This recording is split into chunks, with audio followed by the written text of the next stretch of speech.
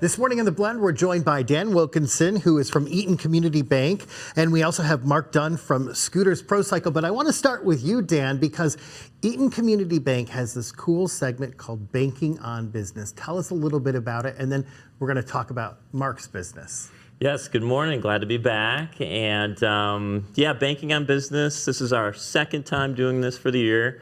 And we're going to be doing this uh, throughout the year. Every month we'll have a new winner. And as a community bank, we wanted to just highlight a lot of cool businesses that are out there.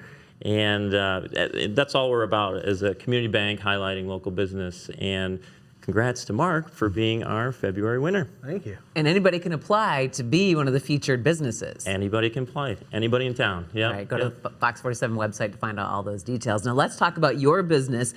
Spring is upon us. Scooter's Pro Cycle. Tell us all about what you offer and, and what you love about your business. Uh, spring's hitting quick, so e-bikes seem to be the big thing. So we've got a big selection of e-bikes. The one biggest thing is uh, we do next day service. So bring your bike in one day, get it back the next. Wow. Flat tires on the spot, so you don't even have to leave your bike for that stuff.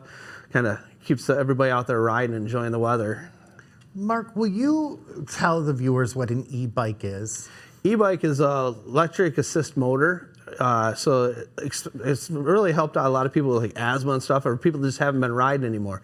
Has a pedal assist, so it has electronic motor helps your pedal, so it has different settings. So if you you can still work hard if you want, ride it like a normal bike, or when you get to this big hill, you don't want to power up it, just hit it on five. Can I just put it on electric the whole time? Cer- someone, some of them you can, yeah.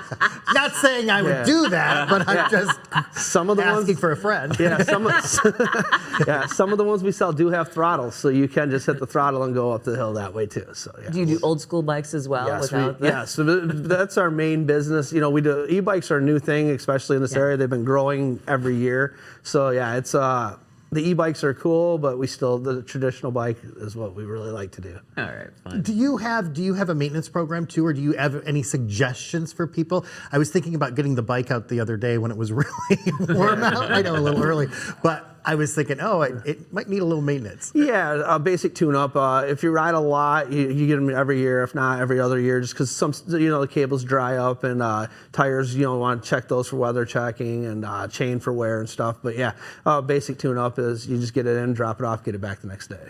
And real quick, Dan, tell us about another one of your future businesses for Banking on Business.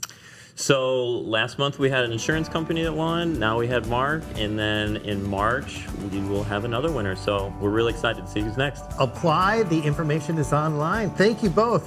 Thank you very much. Thank you.